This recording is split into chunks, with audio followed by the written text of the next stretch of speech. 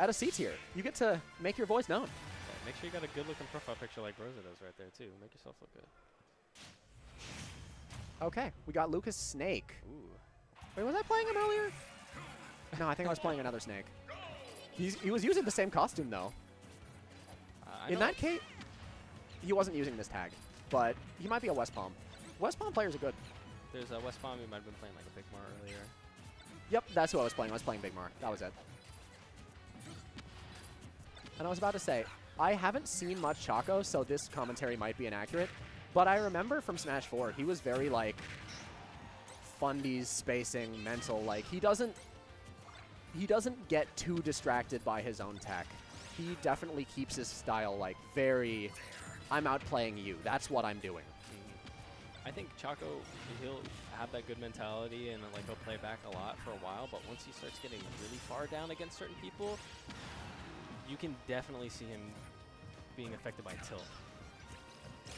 Yeah, I, there are some emotional people in South Florida, I'm going to say. Oh yeah, uh, Choco was paying attention to that uh, to that C4 on stage the whole time. You saw him immediately hit him and then reflector earlier, trying to. I guess he reflects the explosion. I didn't know. I've Oh, never he- seen that happen. So but like he did that on purpose. So he's been conscious of where the C4s have been. You know he's got the snake practice. I guess against Eden. I think that's South Florida's snake. yeah, Yeah. I don't think he's been able to come out like an extreme amount, but No, uh, he's like Eden. by far. Eden is the best player who doesn't go to locals. Yeah, just a falling fair. Snake wanted that dash attack, but you can't beat Psychic Energy with your face. What are you doing, Snake? You got too cocky from Psycho Mantis. And to be fair, Psycho Mantis does nothing with his powers. It's like, I'm moving chairs around. Ooh, come on, man. Hit him with some energy. Oh, wow, that was. I'm not sure if he meant to go for the side B. I've seen uh, snakes like uh, try to read a roll behind from the down throw into like an S smash or something, which kills a dummy early. Um, but RPG right in the face. He was trying to get that uh, landing from far away. Oh, yep. Not uh, right before up tilt was true. He might have been able to pummel and then do it, but instead he went for the F tilt because with that much rage, that close to the edge, that's going to do it. For the F tilt, which I believe comes out a little faster than up tilt. Yup, he's definitely, He's chilling by the C4. he is waiting for that. Uh, he's like trying to call out those explosions.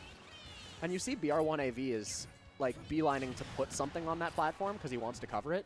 But Choco is like, he's playing around it perfectly, so he can kind of just disregard it. Or not disregard it. Now that he's playing around it, it's not much of a threat.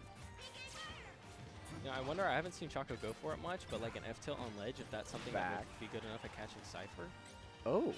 I don't know whether or not that would have done it because the grenade saved them, but not that time. PK Fire off stage is very... If you don't play against Lucas much, you're going to get hit by one or two of them. It's a threat. I think one of my favorite things in the Snake matchup is just using those grenades against him.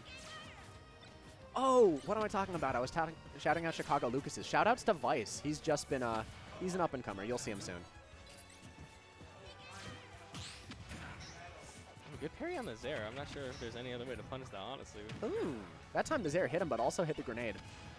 Sometimes you just can't do stuff on Snake's shield, even Sake's safe stuff, because he has a grenade.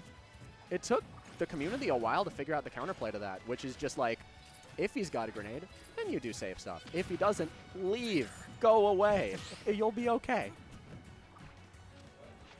Oh, that shield grab is slow. He actually was able to nair and roll out. Mm. That means I can bully his shield more than usual. Noted. There's that F tilt. F tilt. So yeah, 76. Snake wasn't even close to getting a. Maybe just like a hard call out with up tilt or something, but Snake wasn't super close to getting that kill. Yeah, I mean, seeing how uh, it's BR1, seeing how he was playing uh, during the first half of the match, I mean, I can definitely see how he's gotten this far. You know what I think BR1 wants? Hmm. He might want triplats right now. Because he liked putting the, uh, he liked pressuring the platforms with grenade. There we go. but there's less space in between the platforms. Now, if Chaco avoids it, he loses a lot of space to play around in neutral. Whereas, if he avoids one Pokemon Stadium platform, he still has, like, almost an entire FD to play around with. Now he doesn't. Now he's got a very small bit to play around with, which means he can't retreat as much. He can't play as campy as he wants to, you know. And look at that. Immediately, C4's the plat. He wants this. And closer to the center, he wants Choco to... If Choco moves back, he might just get hit. Like, he had to play super close to Snake there, and he won neutral from it. I was gonna say like uh, during the other game, he would like pop down on C4 on the platform and stay on that side of the stage, but like That on the other was-. That was cute. Yeah. He might be able to like um, pressure Choco to not like stay back so much because then he can just pop the C4. Yeah. Uh, Lucas likes his space to retreat with retreating Zairs, retreating side Bs. If he's trying to move back and there's a there's a C4 there, he'll be more hesitant. And if he does move back past it, he can't move forward ever again. So, whoa. Ooh, that S smash on ledge is scary, even though it's probably not gonna happen. just jumps over that PK fire. The combos from BR1 have been really cute this game.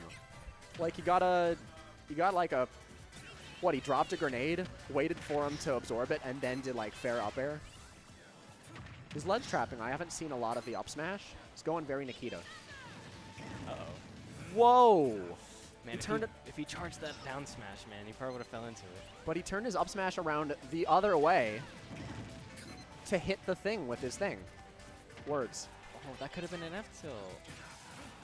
Surprised he, he uh, down threw him at such a high percent, but then uh, shielded. I was thinking the exact same thing, but now he just gets up tilt. It's at 160, they're not messing those up. Can- doing a lot more PK freeze coming back to the stage than he was last game. oh, and fun fact: a lot of people know now because they've stopped fearing the buffer and now they're using it. But you don't have to be percent perfect if you just buffer the up tilt. And it's not like press it 10 frames before. You just hold it. Hold it for like five years. It's gonna come out, and then you'll be frame perfect on everything you want to do. Ooh. he just stopped it with a little kick. Oh, I heard the beep beep, so that was Nikita and not Sticky. I think he was trying to be reverse Sticky. Oh. Does he have the? No, those are just green pants. I thought that was C4, but those, those are just pants. You don't see a lot of uh, snakes go for stickies in this game. Uh, occasionally I'll be sticky, and then I, I have no idea what to do. I'm so spooked. I'll just like run around shielding. Ah, nice. Good catch on the cross up. BR1's got a fat lead on like last game now. Yeah, wow. Now he's two stocks up. He's in the winner's quarters of this pool for a reason. Look at him go. I wonder what region he is. I'm gonna have to find out. Oh, wow, we've got... I was saying that hypothetically, but we've got like a data team coming in. Dang. Doghouse Esports. Oh, there's grenades everywhere. Number two in Ecuador. Oh, wow. Yeah, that'll do it. I'm I'm very happy that number two in Ecuador has graced us with yet another invading region. Very cool. That's not some, any type of uh, representation I would have expected to see here. I mean, we've we've got some reps. I remember that uh, like E King and a bunch of other really cool players have shown up to Florida regionals now and then, Mhm. just because you know Florida's close. Just like how a lot of Mexico shows up to Texas. Parry his own grenade? Jabs from ledge. Now we're seeing those ledge traps with up smash. He wasn't doing much of those, and now he is. I think that's like one of the biggest flaws when you see snakes that don't up smash to the ledge because it's it's so nice. Like you have like a Oh. secondary hitbox coming straight down. You saw that? Okay, that would have. yeah. I think he was looking for tech away. I just gotta say that was the cutest thing. He was under the C4, and so Lucas was scared to do anything. Snake had a guaranteed dash grab there, essentially.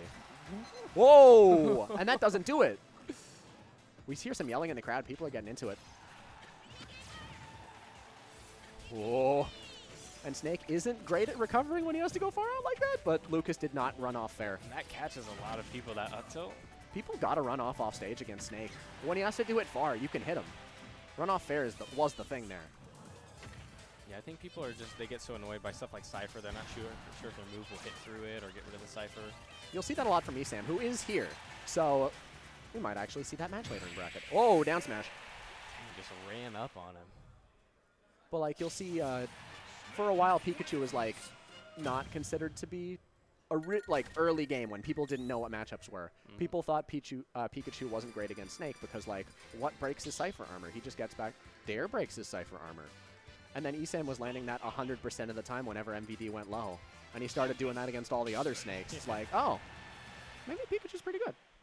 Yeah, I mean any character that has like a down air that can do stuff like that to Snake, like you don't ever want to recover low. I'd say Yep. it's a it's really scary. Anything that does like, what is it, 10%? I know his body and the Cypher have different armor, but both of those are around that percent. And BR1 staying really lame. He is he is hiding behind his C4 now. Oh, okay. I mean, he went straight back down to zero, and then he 10% right after that. And he's noticed that Choco isn't really great at dealing with these uh, up smash ledge traps, so you can see him doing so much more of them this game.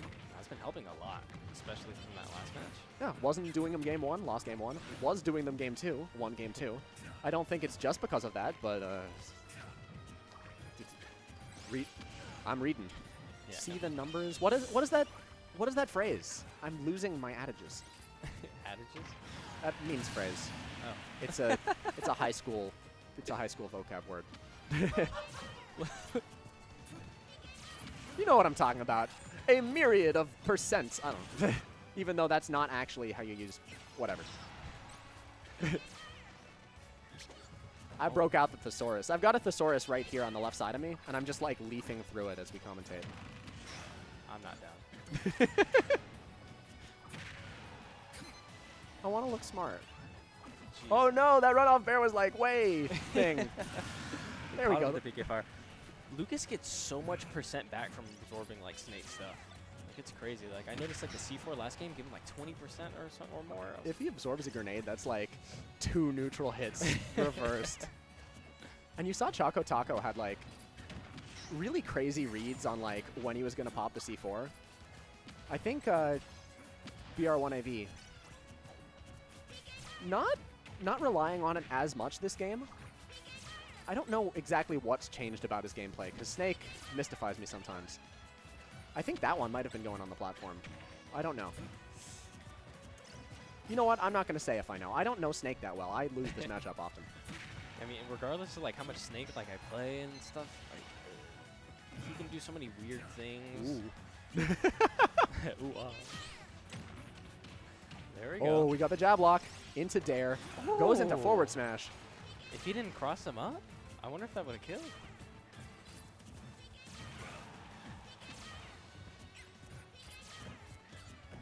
Oh, this is a tense neutral right now. Yeah, they're just playing in the middle with their grenades in the fire. No one wants to be a stock down on this last Ooh, game. I like that B bounce fire. Back Throw. And what do we got? Uppy to stage. We're okay.